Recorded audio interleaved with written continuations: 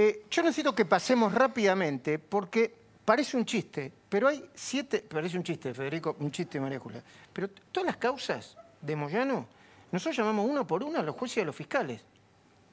Parada, congelada, denegada. Y no son causas este, por, por pasar el semáforo en amarillo, ¿eh?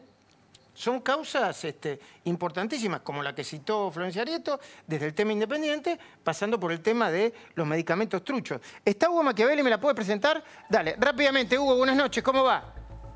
Hola Luis, buenas noches. Por supuesto que hicimos esta recorrida y vas a ver de manera resumida cada una de las situaciones en las causas que hay contra Moyano. Mira, la mafia de los medicamentos, la que comenzó denunciando Caña, se investiga la obra social, el fraude en la obra social de camioneros, el juez que quedó subrogando eh, el juzgado de Bonadío es Marcelo Martínez de Giorgi, la fiscal Alejandra Mangano. Seguimos, avanzamos eh, con los datos. Acá no hubo, fíjate vos la eh, explicación formal, no hubo reunión de peritos por el elemento social preventivo y obligatorio. Ah, mira vos. Se investiga inicialmente un perjuicio de 570 millones de pesos, esto al año 2006. Dale, vamos, Datos sigamos, técnicos, que son seguimos. una tras la otra, que no se investiga y no se investiga. Ahí está, el fiscal Elvio Laborde, dale. Ahí está, causa de asociación ilícita independiente, lo que decía Arieto, la que más preocupa porque va de cerca contra Moyano y su hijo, negocios entre barras y Ahí dirigentes. está, con el sello. Cajoñada Jueza de nacional. garantía, Brenda Madrid. Fíjate que eh, finalmente fue a Avellaneda, lo sacaron a la escalera quien investigaba e impulsaba la causa.